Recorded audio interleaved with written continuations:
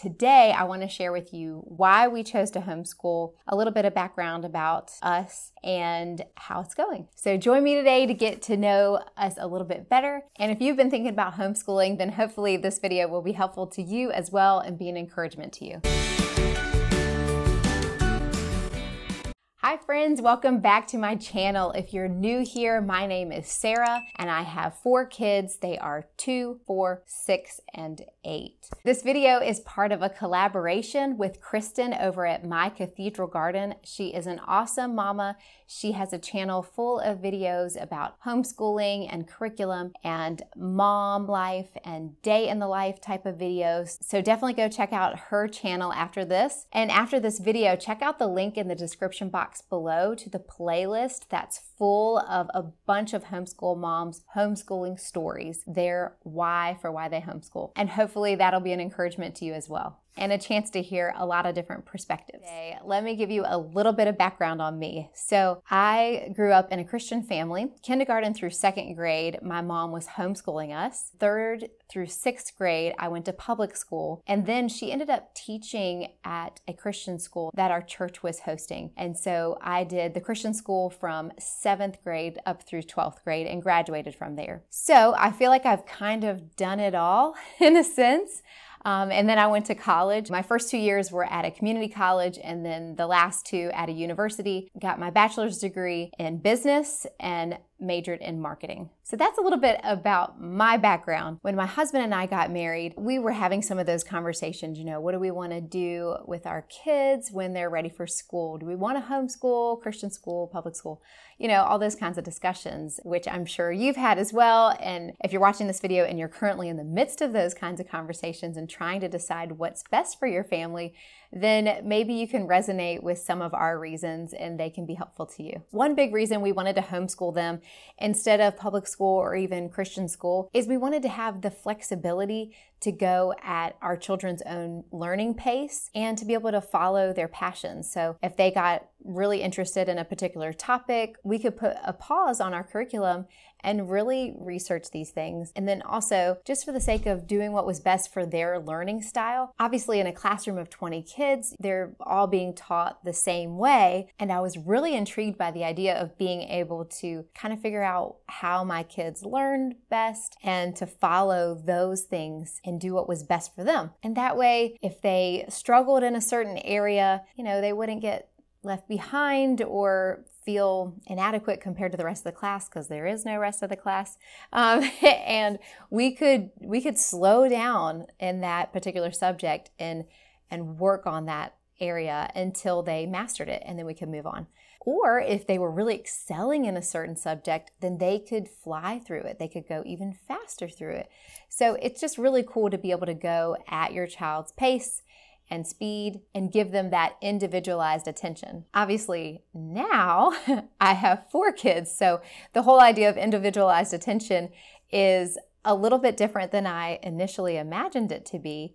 Um, it's not quite as beautiful and wonderful. It's pretty chaotic at times, but I definitely still have the opportunity to work with each one individually. Four is not that many compared to 20, which would be in a normal classroom size. So it's totally manageable. I just have to keep telling myself that day after day so that I don't pull my hair out. But that's a really cool thing to be able to do. Another awesome thing about homeschooling is the flexibility to do school whenever you want. So we can make our own schedule. We can sleep in when we want. We can take a day off when we want. We can make up for that day off whenever it fits into our schedule. We like to travel, so it's nice to be able to do that at random times throughout the year.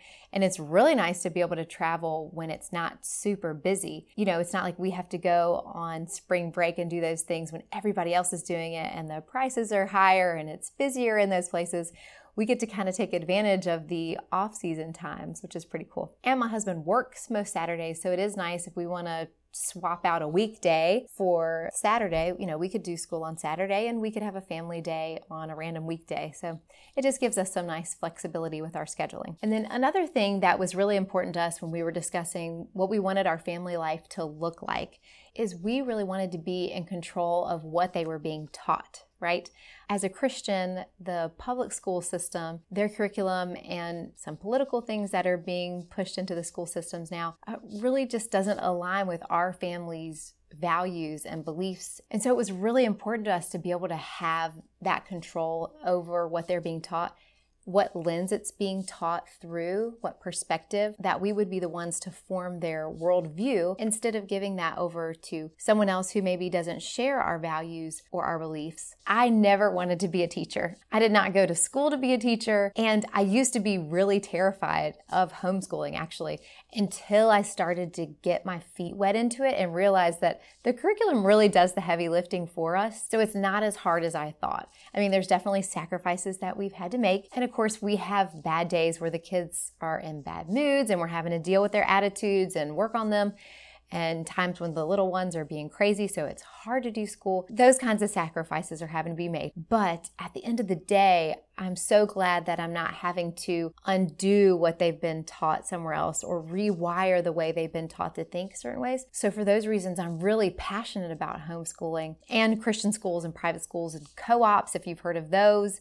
You know, it's just basically where homeschool families get together and learn together. They might have a certain teacher for certain subjects, and then the kids are able to have classmates and peers. So, we love all those things. And right now, for the other reasons that I said, like the flexibility, homeschooling is really what's best for our family. But in the future, we may decide to do something like a co op or a private Christian school. We'll cross that bridge when we get to it. But for right now, homeschooling is really what works best with our lifestyle and allows us to teach our kids our value system without being kind of up against some things that are hostile towards those beliefs. And then another big thing we had talked about a lot about how we see ourselves raising our kids. And as much as I love to have breaks from the kids and would like more breaks in the day sometimes from the chaos, I see the extreme value that there is with us being together as much as we are.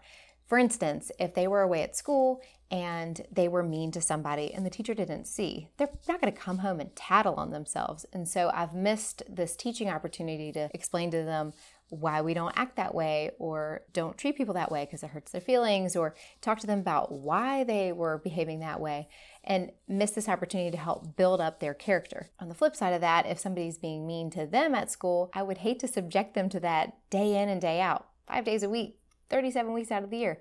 Oh, that'll do a number on your self esteem.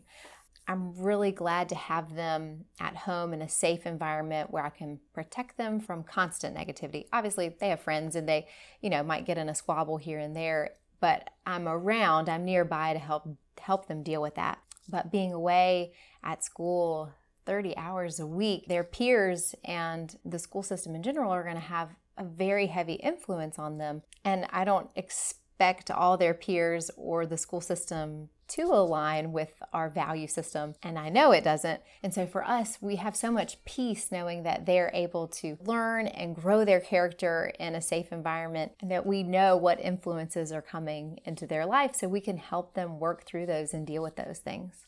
So now to how it's going. So I have a third grader, a first grader, a four year old that's in pre K, and then a two year old who's just a master of distraction and is kind of all over the place. Sometimes he will sit down and listen to the preschooler's lesson, which is great. And sometimes he'll even participate. So that's good. I feel like he's learning a little bit here and there. And sometimes I set him up with a show on my phone and sit him to the side so that we can all focus and quiet.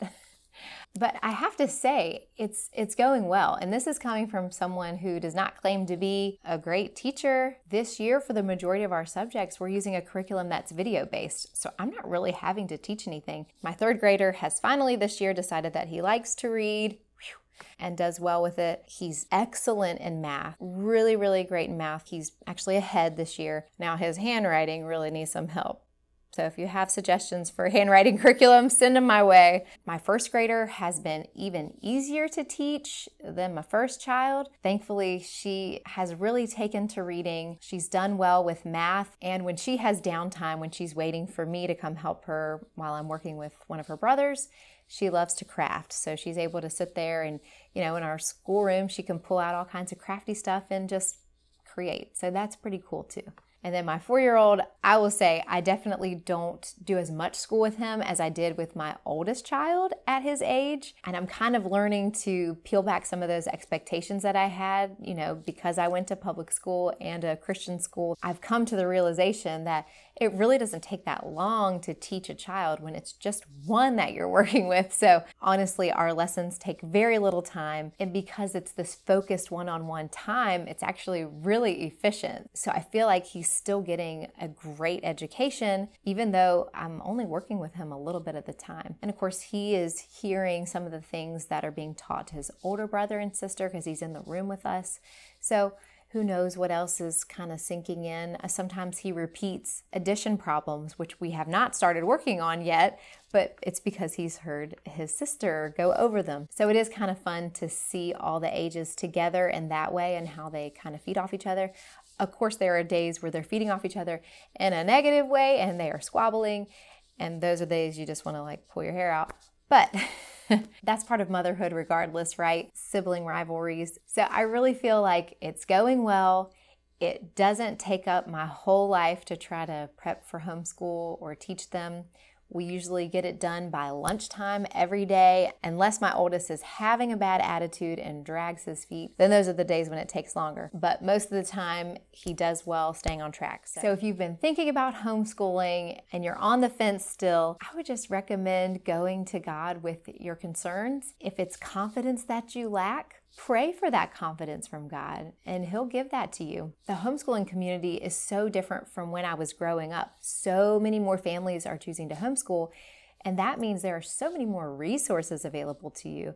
Um, YouTube videos, obviously, blogs, and so many more curriculums have come out throughout the years to cater to different families' needs different learning styles. So don't let that nagging doubt in your head keep you from taking the plunge if you think it's what's best for your family. Because none of us are in this alone. We can all rely on each other and get help from each other. So that is my why for homeschooling our children. I hope that this video was encouraging to you today. If you haven't subscribed yet, go ahead and hit that button below and hit the little bell as well. That way you get notified every time I upload a new video. And I hope you can join me here every week. I love to talk about homeschooling and curriculum reviews and also just general things about mom life and traveling with kids. So, if that interests you, then I'd love to have you join me here every week. And if you know someone who's thinking about homeschooling and you think this video would be helpful and encouraging to them, please share it with them and hit that like button below and comment below and say hi and let me know if you have any questions or what your reasons are for homeschooling. Thank you so much for joining me today. Until next time, happy schooling.